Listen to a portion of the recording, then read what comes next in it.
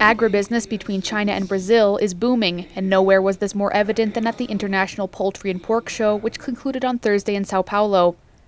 During the event, both Chinese and Brazilian exhibitors expressed willingness to increase bilateral trade in the agribusiness sector.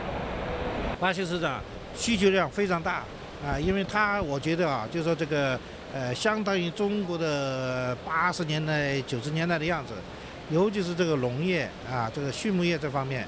呃，也有很多需要提高的地方，所以他们需要很多呃好的产品。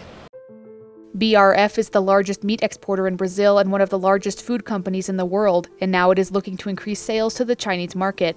For animal products producers in Brazil, the focus is now mostly on processing and product inspection systems to facilitate exchange between the two countries. Nós temos exportações tanto de frango é, como de suínos para a China. É, nossa expectativa é que aumentemos, para a gente aumentar esse volume.